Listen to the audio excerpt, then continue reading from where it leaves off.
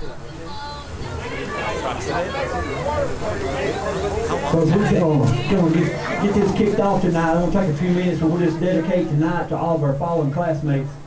And, uh, and then too, we're gonna start it off a little different than we normally do. You know, we got a, a lot of various types of music going on, and uh, just wanted to honor God right off the bat with a couple songs. Me and my little girl, you know, she's been worshiping since she can walk, and uh, really loves singing, singing to God. So we're gonna we're gonna do a couple songs, and that's one thing Steve Fletcher, I believe, would have wanted. I've sat on Sunday service and watched him many times lead the choir in Mountaintown. He's wanting everybody to have a relationship with Jesus. So I'm gonna, gonna put that out there, and uh, so we're gonna we're gonna honor the Lord these first few songs.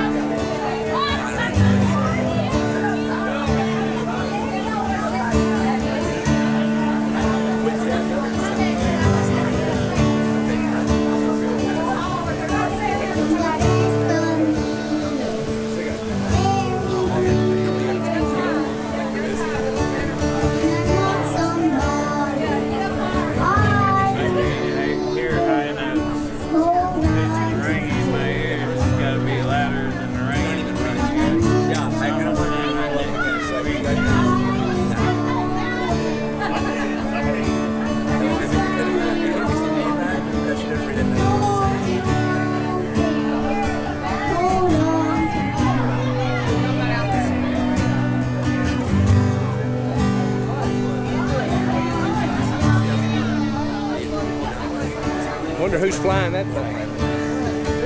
Uh, Jacob. Maybe it's cool.